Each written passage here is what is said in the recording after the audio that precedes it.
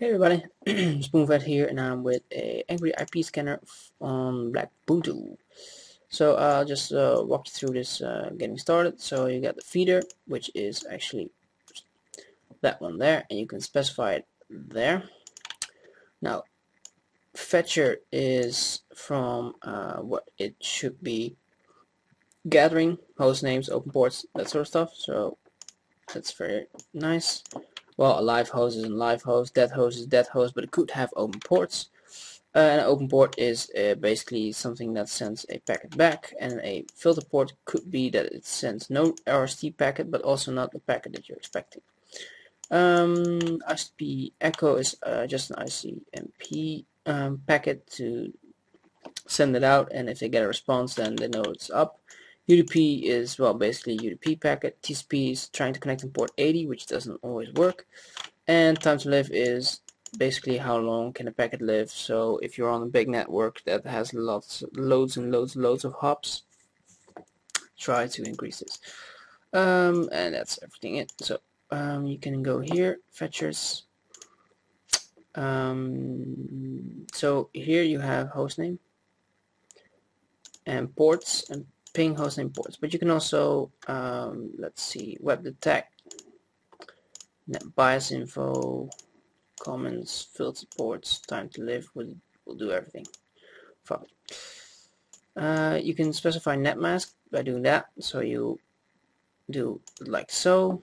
Um, you know, you can do that, or just 16, which makes it go from this to that, which is a lot 24 is going to that and 26 is to that. So I'm going to do this one IP range um, ICMP echo yes and I'm going to do some ports. Well, 1 through uh, I don't know 500 is fine. So okay go start. And to get everything in there by the way is you gotta run that command on uh, Blackbuntu is a sudo IP scan just so you know. So I should see everything. So it's scan completed. Nothing is alive. No that's correct because I've got one. So uh, start again please. Uh, no no yes start. Yes. Oh um that is a stupid mistake. All right, there you go. So here we go. Um, like so. Uh, you can say not applicable. Some filter ports on that one. So you might be able to exploit that. 1.6. It's not not really sure what's going on there. Uh, 30 3 doesn't respond at all because I actually switched that off. But this is my this is the Windows server so I might be able this is the Windows server. Uh, I might be able to switch that on actually. So one more alright so I switched that on so we can run our scan. Um, and this one is actually a very awesome one. As you can see because that's my uh, Raspberry Pi which of course I have and and the rest is all empty. Apart from that one so we're just going to stop it? We're going to close it. And that one did not scan but it is up and running. So we'll just we'll start another one. Yes. That one is the quickest of course because that's our own machine. There we go. Let's see if 33 is catched already. No. 33 was not up and running yet. Stop it again. Alright, start it again.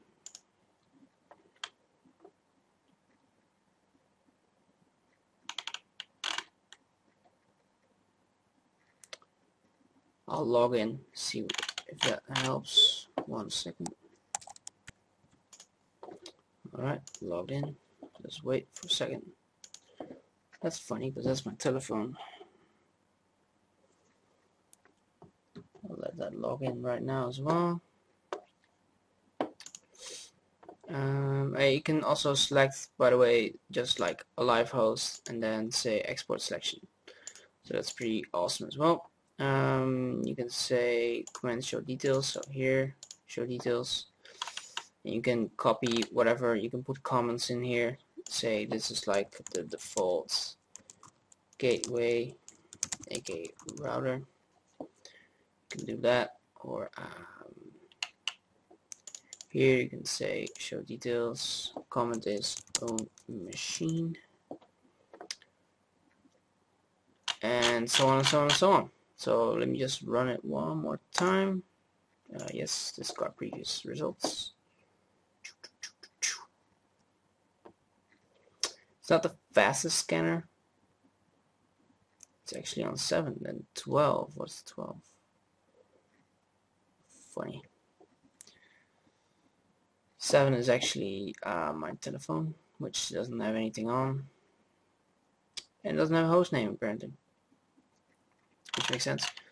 Yeah, 33 is not detected and 6 is detected. Um, somehow it doesn't want to terminate the Windows ones correctly, um, which is fine.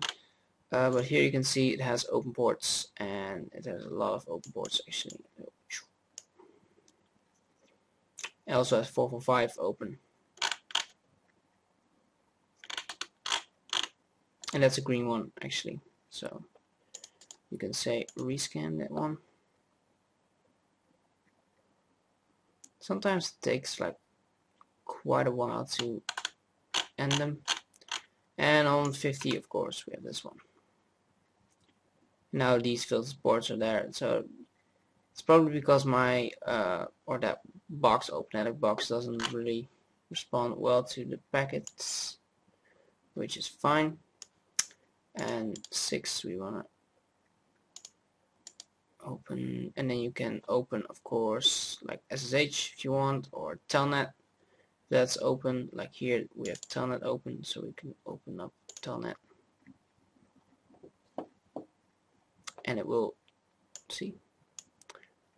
Now it's already closed and uh, the reason for that is you actually use telnet to put on uh, firmware I believe. So you just send stuff through that port with a cable. Um, so close. Yeah so scan everything so now it has all the ports on there and it sees that it's ISS7 and it has oh and there we go. That's the Windows machine name. Exciting isn't it? And this is the filter ports and it was 128 time to live so that's pretty huge packet. Uh, and that's it for the angry IP scanner. Um, it's it's generally just more sensible to use it as a not as a port scanner. Um, only show a live host. And um, which else is there?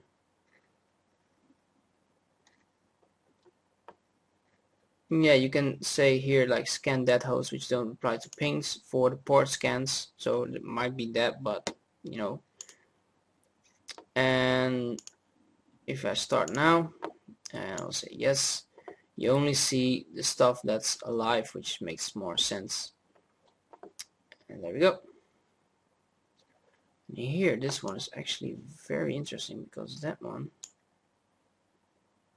is another PC ah alright funny. It detects my uh, the host PC as were that's funny this is one of my desktops. This is my host PC this is my telephone. Uh, let me just sort by IP but this is my router. This is not a desktop. This is my telephone. This is my host system. This is my virtual machine. This is my uh, Windows server. And this is my OpenELEC box. So that's uh, yeah this is a nice point of entry. If you would see this in the port scanning so right now we've we've shown all of this of course, but you can easily just say uh, display. Uh, no, not display. Sorry, tools, fetchers, and just remove ports. Um, NetBIOS is well.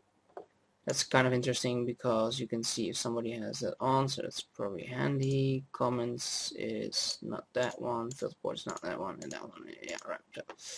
So this is will be the ideal one for my scanning right here uh, do we have some other preferences? No, we already showed that. Uh, selection, we showed that scan statistics, you can see that. Um, that's basically it. Uh, yeah, the commands are pretty cool, I think. That's one of the reasons Angry IP Scanner really does work nicely. You can immediately open like an FTP tool or you know geolocate or you know whatever you want mail clients. Um, I believe you can even open up. Uh, what can you open up? Uh, you know, traceroute, who is an email sample. You can open up quite the things actually.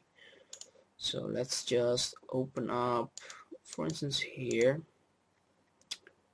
We can open up, uh, well, traceroute's not that going to be that interesting. Um,